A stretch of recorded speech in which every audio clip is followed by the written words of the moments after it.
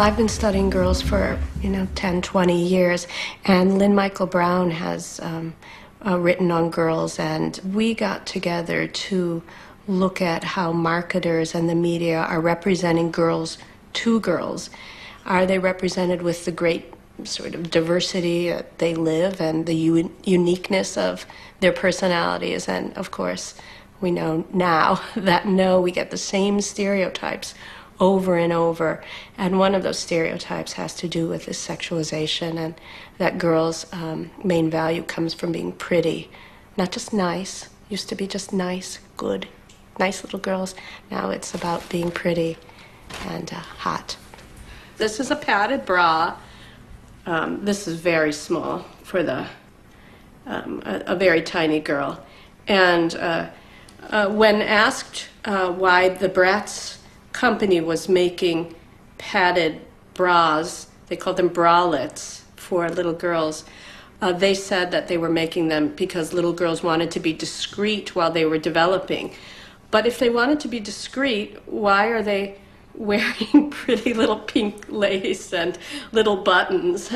I mean, to me, this is like dressing up sexy.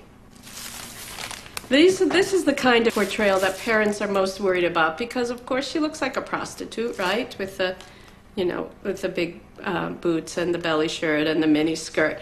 But this is like normalized dress now for girls, and we have again the hot pink color, which is a sexualized color.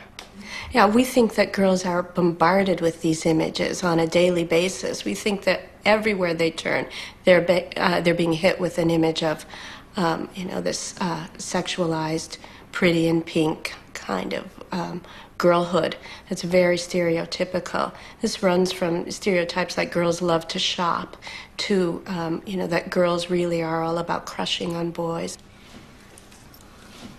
Oh, I love shopping.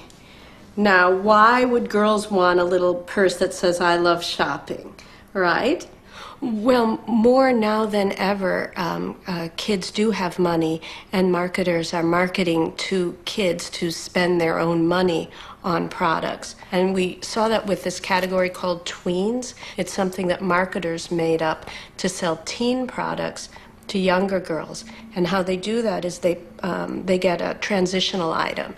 So adult women might wear lipstick, and teenagers might wear lip gloss of varying shades, but a tween might wear cherry cola lip gloss. So you're combining something that's still a little girlish, and yet it's really introducing them to something they don't really need yet at all. So that you have a customer for life